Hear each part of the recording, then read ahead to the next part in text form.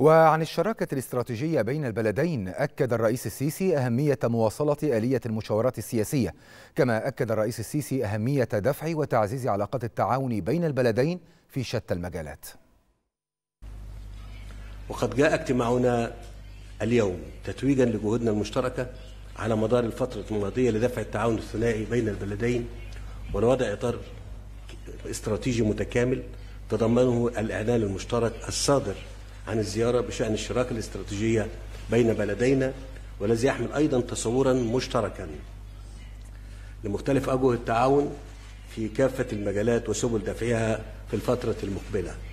بما يؤكد إرادتنا السياسية المشتركة في هذا الشأن ويمهد لمرحلة جديدة من الشراكة التي تربط بين البلدين.